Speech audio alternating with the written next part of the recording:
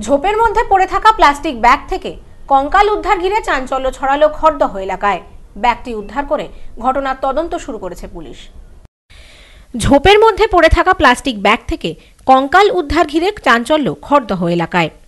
কল্যাণী এক্সপ্রেসওয়ের পাশে একটি ঝোপের মধ্যে একটি প্লাস্টিক ব্যাগ পড়ে থাকতে দেখেন স্থানীয় বাসিন্দারা। তাদের সন্দেহ হলে পুলিশে খবর দেন। পুলিশ এসে ব্যাগটি উদ্ধার করে। ব্যাগ থেকে একটি কঙ্কাল উদ্ধার হয়। উদ্ধার হওয়া কঙ্কালটি একটি শিশুর কঙ্কাল বলে দাবি স্থানীয় বাসিন্দাদের।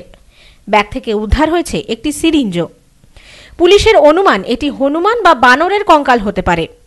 এলাকায় চাঞ্চল্য দেখা দিয়েছে। ঘটনার তদন্ত শুরু হয়েছে।